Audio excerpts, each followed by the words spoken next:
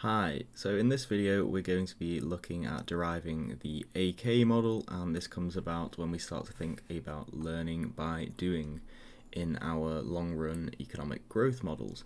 So learning by doing was developed by in 1989 and in this paper and the idea is that we have some sort of learning by doing as, as by name and this is where workers accumulate knowledge and they improve their skills during production of a good.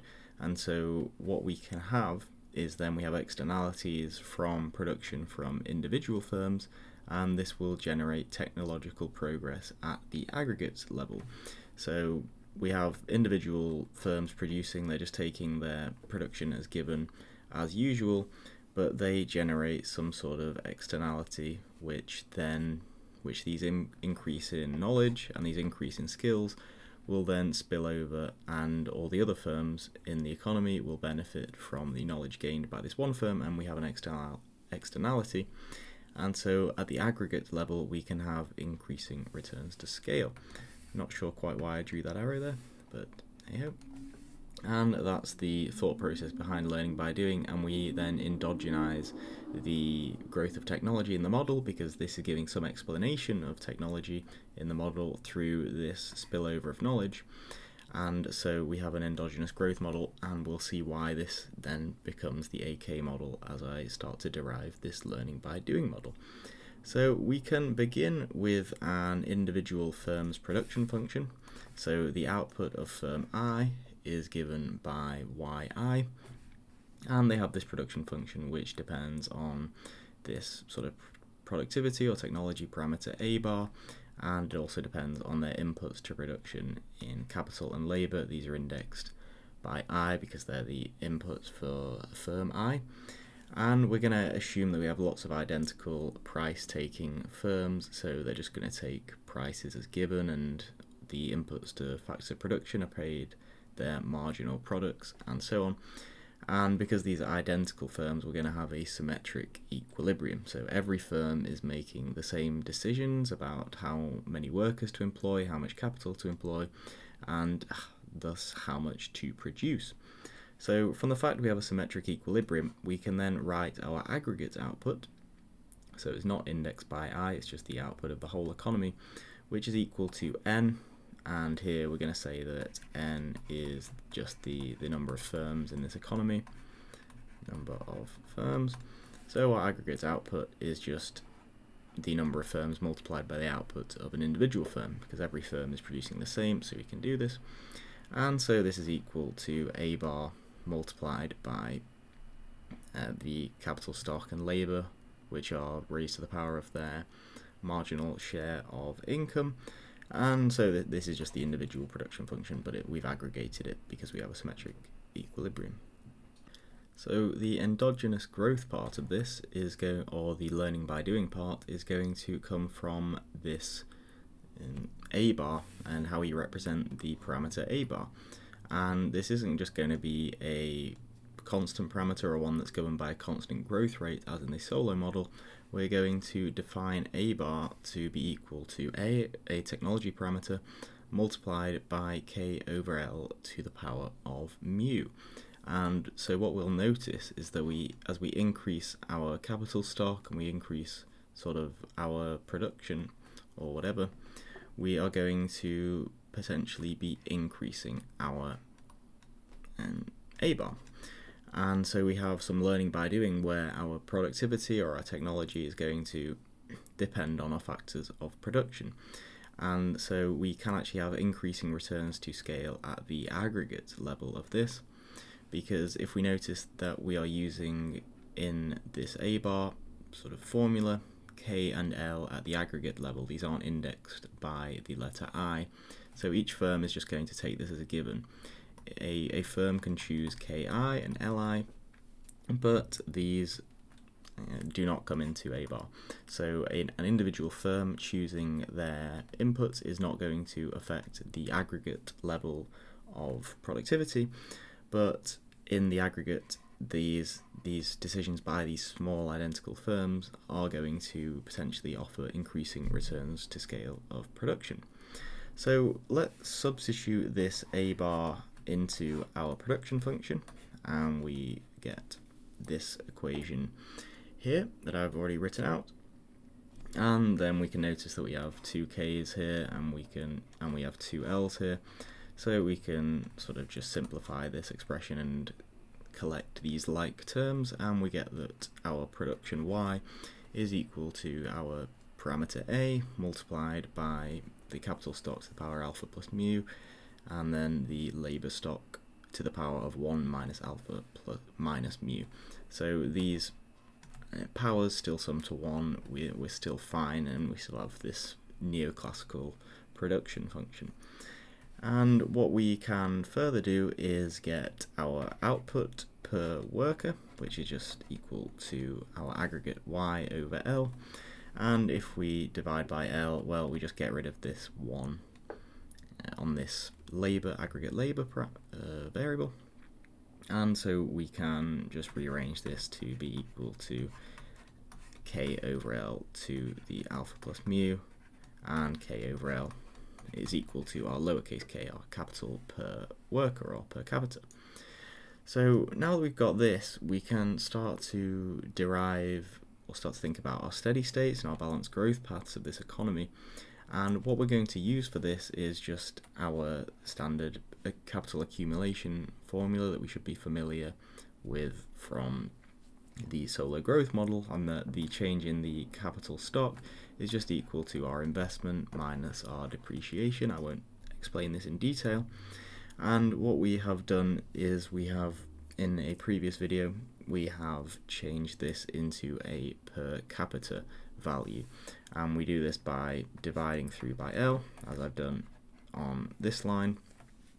And But what we want to have is a per capita, so a lowercase k, uh, as that evolves over time, whereas here we have the uppercase k evolving over time divided by L, so these two things are different. So we can use, and we've done this in a previous video, we can use the fact that lowercase k dot is equal to k dot over L minus nk, and we, we've derived all this using derivatives and the quotient rule. So check out previous videos on the Solow growth model for this, but I will just use the result in this video. I won't go over exactly how that was done again, and we get that k dot in per capita terms is equal to the savings rate multiplied by per capita output minus the depreciation rate plus the population growth rate multiplied by capital per capita. And above we got this output per capita value, this is why we did it, so we can then substitute this in and we substituted that in on this line of workings. And now that we've got the growth rate of capital per capita over time, we can find the growth rate of, of uh, capital, or per capita capital. And so we do this by just dividing through the derivative of capital with respect to time by capital per capita. And this is very simple, just divide just dividing this term up here by lowercase k and we get this expression down below. So what we can recall now is we, as I just highlighted, we, we found this output per capita that was equal to A multiplied by our capital per capita to the power of alpha plus mu. And so now that we've got our growth rate of capital per capita, we can just use our growth rate rules and it's as we've done before, this is effectively just using rules of logs. Uh, this, this looks like an R, but that should be a K there. And we'd use rules of logs to show that the growth rate of Y is equal to the growth rate of A plus alpha plus mu growth rate of K. And the growth rate of A here is zero. This was just a constant parameter that we had. So to find the out the growth rate of output per capita, we just use this equation and we can just substitute in our growth rate of capital per capita. So now we've got our growth rate of output per capita and our growth rate of capital per capita and what we'd potentially what want, to do next is to use these to find where we have a balanced growth path which would be where these two variables, as well as the wage rate and the rental rate of capital and consumption, grow at a constant rate. And we can do this using the method I outlined in the video on balanced growth paths. Um, but what I'll do here is just just mention what, what happens when we when we look at deriving these balanced growth paths, and because I went, that was quite a lot of working to derive it. But what when we look for balanced growth paths, what we see is we only actually have a balanced growth path. Eh, well, this isn't technically true. We only have a balanced growth path with positive growth rates of capital and output if we have this condition holding, if we have alpha plus mu is equal to 1.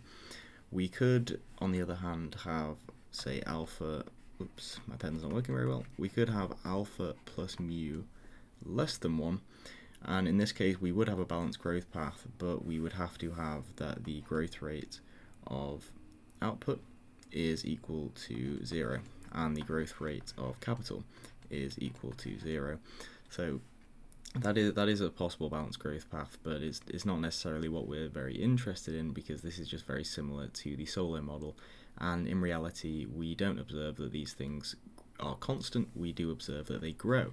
So if we're looking for something with our output per capita growing at a positive rate and we want a balanced growth path, the only time we're going to have this is when alpha plus mu is equal to 1 if we go through all this working to find a balanced growth path for these variables.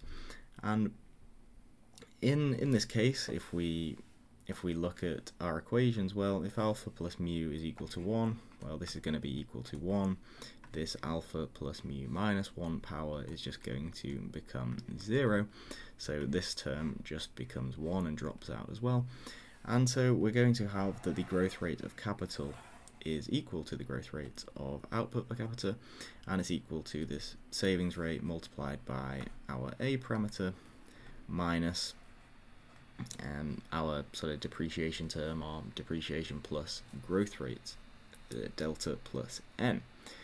And th this is where we where we get the AK model from because if we remember this is and I've just written it down here th this is what our um, production function in the aggregate actually was in this model where we were just generalizing using alpha and mu here and but now we've said that we want to have alpha plus mu is equal to 1 and this is equal to 1 and so if we plug in alpha plus mu equal to 1 well we get y is equal to a k to the 1 multiplied by l to the 0 and L to the 0 is obviously 1, so we get our production function is y equals ak. Hence why it's called the AK model, because our production function is just AK. So that's where this model comes from, and so by having a production function of AK and having these uh, learning by doing effects and knowledge spillovers from this, we have endogenous growth in the model, and we have that policy can have a long run effect on growth. If we look back at our long run growth here, we have that growth depends on this savings rate, which we tend to think can be affected by the government. We've seen this when we were looking at getting to the golden rule steady state in the Solow model. There, the government can change the savings rate in economy by, say, incentivizing savings, by changing certain taxes on savings, and so on. And so, if a government was to increase the savings rate, it would increase the growth rate of output per capita.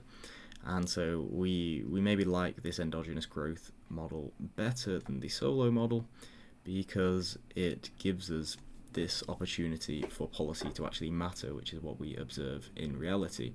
There is, of course, a big issue with this model is in that it, it requires this alpha plus mu to be equal to 1 uh, which might be called the knife edge parameter assumption, or will, will alpha plus mu really be equal to 1 in reality? It's a very specific rule we're looking for, but I, I won't discuss what, what this actually means because that's potentially a topic for another video and a lot of this debate has gone into this and this could even be an essay title on its own.